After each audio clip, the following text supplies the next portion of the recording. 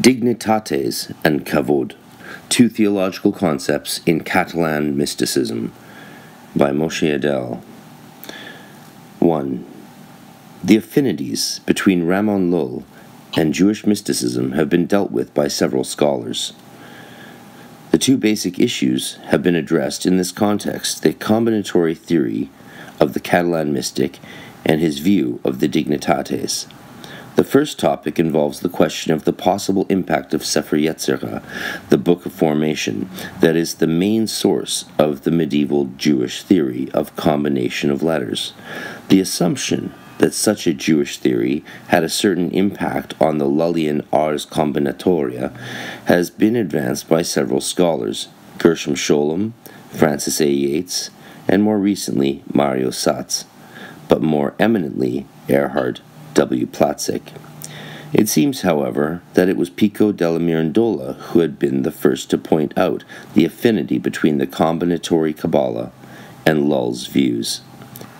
More recently, I have attempted to point out the possible influence of a very peculiar type of Kabbalah, which combined the combinatory theory of Sefer Yetzirah with some Sephirotic theories as formulated by Catalan Kabbalists, especially Rabbi Ezra of Gerona. In an anonymous commentary on the Jewish prayer, apparently composed in Catalonia in the 60s or the 70s of the 13th century, I have found the use of three concentric circles where the Hebrew alphabets have been inscribed together with a table where the theological significance of each of the letters has been detailed. In a note printed some years ago, I proposed to see in those drawings or their possible Jewish mystical sources or parallels a plausible source for Lull's more famous use of the same types of devices in order to extract theological and scientific truths. There, an effort was made to emphasize not only the similarities between the sources I have discussed, but also the question of their availability in time and space. In other words, in order to propose a more solid link between two phenomena, the existence of the two topics in geographical vicinity in the same period may constitute an important finding. This methodological finding seems to me important insofar as the other topic is involved. It would be, accordingly, more reasonable to look for those specific theosophical theories embraced by the Catalan Kabbalists as the more plausible sources of Lull, if at all, before someone resorts to an explanation that in itself may also be correct that forms of Kabbalistic thought found outside the Catalan region might have been the source of Lull's view. To put it differently, the better understanding of the history of the Kabbalah in the immediate vicinity of the Christian mystic may contribute to a more precise understanding of his affinities to Jewish sources. Ramon Lull, of course, was the is, became the blessed Ramon Lull and forged uh, the ideas that we should learn each other's languages and uh, better integrate our understanding of other cultures. There's a statue a statue of him in Mallorca, in Palma, where I got to spend a lot of a good time in Zelator in 97 during the Hale-Bopp comet and uh, delved into his his studies there.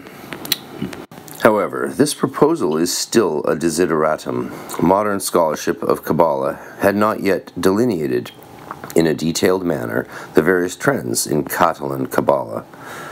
This is a desideratum important in itself, as it deals with the main concept permeating discussions in a major phase in the history of Jewish Kabbalah, also having some possible implications for non Jewish thought.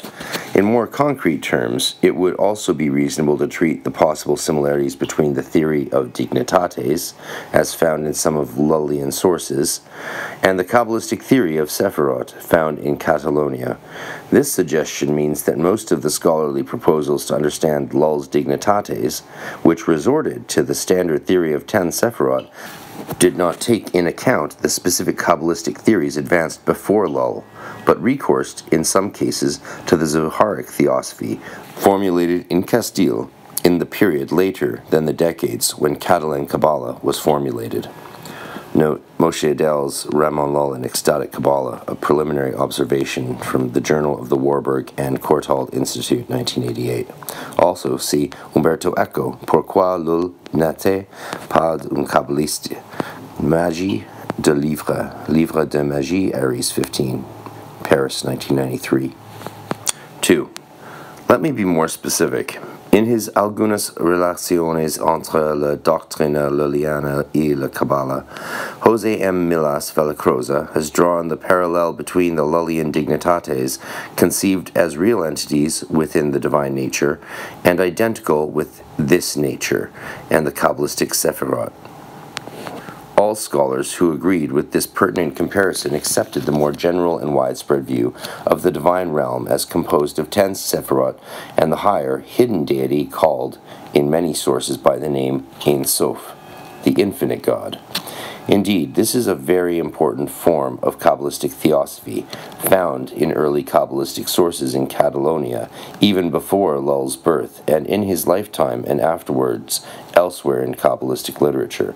However, the discrepancy between the nine dignitates in some later Lullian texts, or 16 in earlier ones, but never 10, and the ten Sephirot contributed to the marginalization of the theory about the possible Kabbalistic source of the dignitates in more recent scholarship. Both the theory advanced by E.W. Platzeck as to the Augustinian source of Lull, or the Erigenian origin of Lull as proposed by Yates, have contributed to the neglect of research regarding the possible nexus between dignitates and Sephirot. Following Yates's great authority, no other than the famous Gershom Scholem accepted her conclusion when he indicated that I could not convince myself of any historical influences of the Kabbalah on Raymond Lull's doctrine of the dignitates of the deity. As regards the names and the structure of the Sephirot and the dignitates, the correspondence is only superficial and slight, and in part the almost necessary consequence of the enumeration of the divine attributes. Precisely the number 10 plays no role at all with Lull. It seems that the trend of modern scholarship is definitely not in favor of the Kabbalistic source of the dignitates. I too have joined this recent unanimity when I stated that it seems that the influence of the Theosophical Kabbalah on Lull's conception of dignitates Dei can be neglected. That's in Idel's Ramon Lull and Ecstatic Kabbalah. And for the earlier notes, you can see Gershom Scholem's Origins of the Kabbalah. However, I had fortunately enough qualified my agreement to this view by mentioning that it is conditioned by the known material, and, if further studies will not unfold new material. Here I would like to introduce again the plausibility of the Kabbalistic source of some aspects of the Lullian theory of dignitates. On the basis of some new manuscript material and a new reading of already known Kabbalistic texts. Since these texts were composed before Lull started his literary activity and were known, or some of them even composed, in Catalonia, I take this opportunity to expose a theosophical theory embraced by some Kabbalists that was less dealt with by modern scholarship. Unlike the majority of Kabbalists throughout centuries, some early Kabbalists claimed that the first Sephirah, commonly known as Keter, crown, is identical to the Causa Causarum, a stand that admits the existence of the ten Sephirot, but assumes that the first one transcends qualitatively the other lower nine.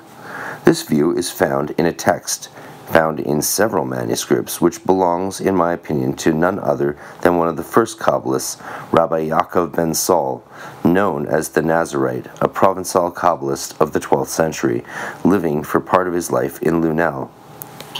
Again, more on him in Gershom Scholem's Origins of the Kabbalah. This is a short anonymous text found in the immediate vicinity of the few vestiges of the teachings of Rabbi Jacob and those of Rabbi Abraham ben David, known as the Rabbad. And this vicinity, together with the conceptual consonance of the terminology of this short text to those statements, brought in the name of Rabbi Jacob, brought me to the conclusion as to its authorship, and thus to the possibility that this is a very early Kabbalistic text. Ilat ha-ilot, Chokmah, Binah, Hesed, Pahad, Tiferet, Netzach, Hod, Berit, Malchut. If my conjecture as to the identity of the author of this enumeration of the divine entities is correct, then, at the very beginning of the Kabbalah in Europe, the philosophical concept of causa causarum stands at the beginning of a list that includes nine additional appellations of the Sephiroth, while the name of the first Sephirah, Keter, is not mentioned at all. For more on this, see Moshe Idel, The Prayer in Provençal Kabbalah, Tarbiz, 62, 1993. That's a journal. This Provençal Kabbalist was the contemporary of another one, the already mentioned Rabad. Unlike the latter, Rabbi Jacob the Nazarite is not known to have established a Kabbalistic school that might have continued his teachings. The Rabad's views, however, were elaborated in Provence by his son, the famous Isaac the Blind, and his grandson, Rabbi Asher ben David, as well as by some Catalan Kabbalists living in Gerona. This school is characterized, inter alia, by the doctrine of the Deus absconditus, the infinite Ein Sof, that transcends the spiritual entities named Sephirot, which are conceived to be ten.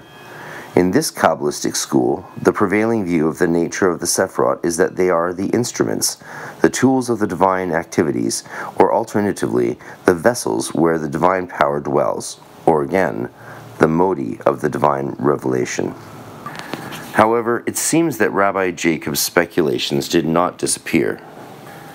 There were early Kabbalists, apparently in Gerona of the early 13th century, who did not accept the view of the school of Rabbi Isaac the Blind as to the existence of a transcendental, transsephirotic Godhead. One of them claimed, for example, that there is no entity higher than the first Sephirah, and that no one should separate the Sephirot from each other, since they are united, implying that they are divine. In other words, it seems that there is a certain nexus between the theosophy that assumes that there is a transcendent transsephirotic source of the Sephirot and the view that they are the instruments of its manifestation and of the creation of the world.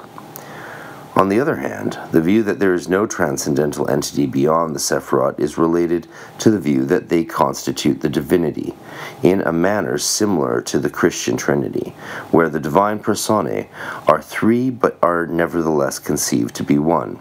The Sephirot are conceived of as ten, but constituting one divine configuration. The Sephirot are conceived in those fewer texts as constituting the very essence of the divine, which means that the divinity comprises those Sephirot. The most important exponent of this essentialistic approach to the nature of the Sephirot was nevertheless not an obscure figure, or some anonymous text, but one of the most famous of the Catalan Kabbalists, Rabbi Moses ben Nahman, better known as Nachmanides, 1194 to 1270, who lived for the greatest part of his life in Gerona.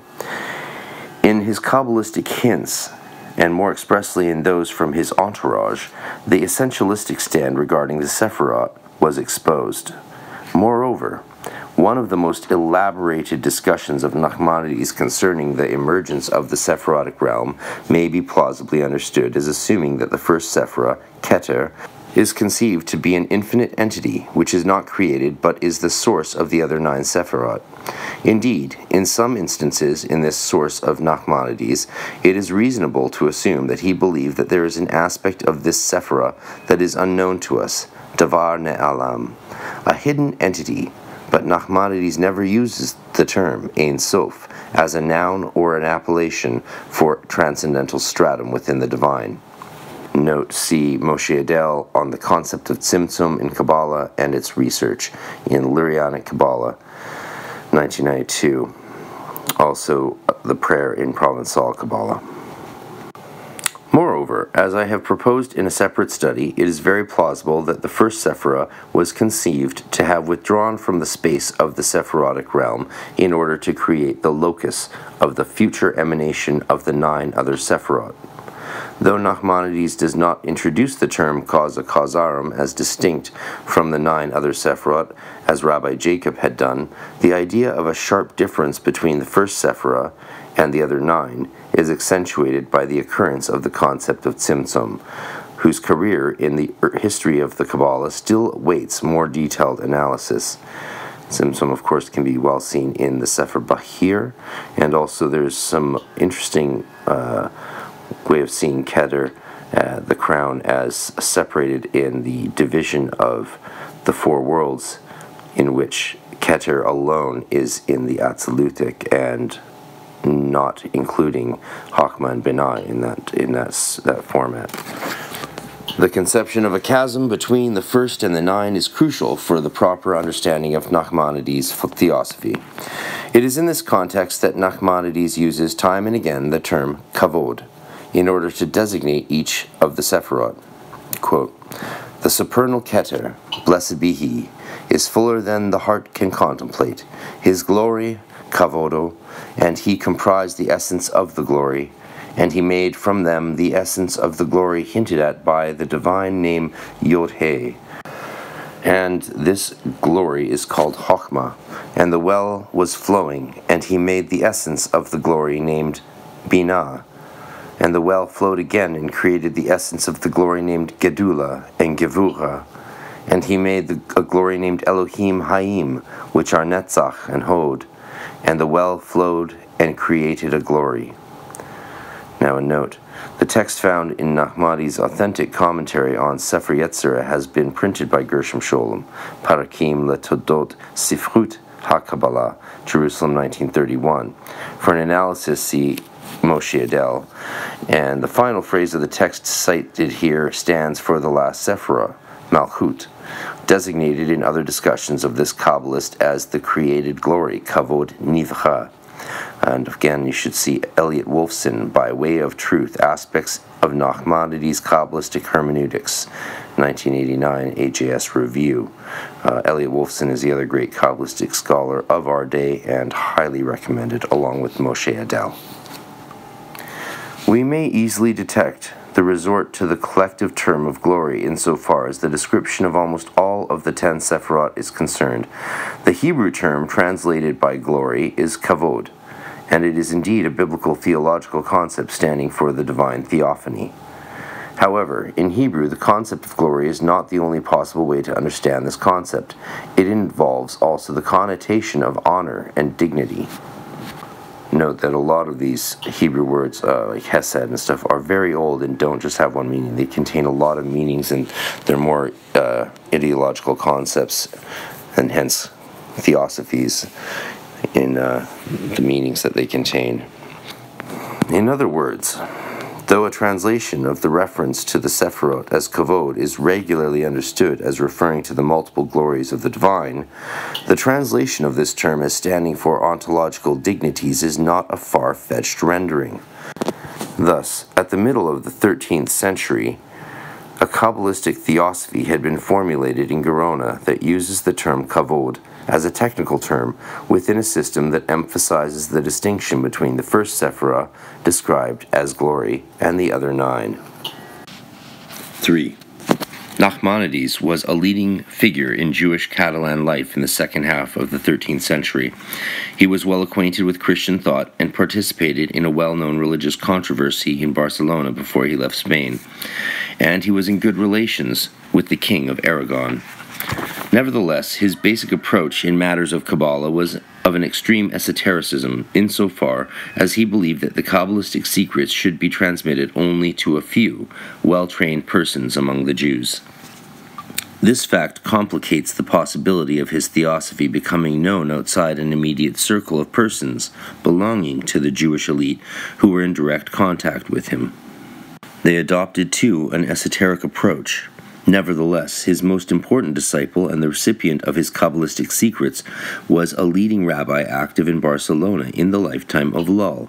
It is Rabbi Shlomo ben Abraham ibn Adret, known in the Jewish literature as Rashba.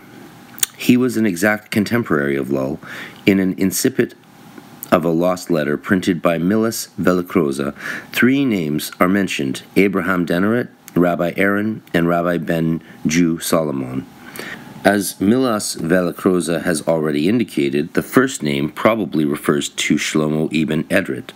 This may be an indication that some type of relation between Lull and his contemporary Jewish theologians should be assumed. It seems, therefore, that Nachmanides' secret doctrine transpired beyond the close circle of his immediate followers. In any case, a contemporary of Ibn Adret and Lull, and a person who was not a student of Nachmanides, Abraham Abulafia, describes in the 80s of the 13th century the doctrine of some Kabbalists who claim that there is nothing beyond, namely higher than the ten Sephirot, and the view that the ten Sephirot are the divinity. Though written in Sicily, this statement is addressed to Rabbi Yehuda Salman, who is probably identical to Rabbi Ben Jew Solomon, mentioned by Lull.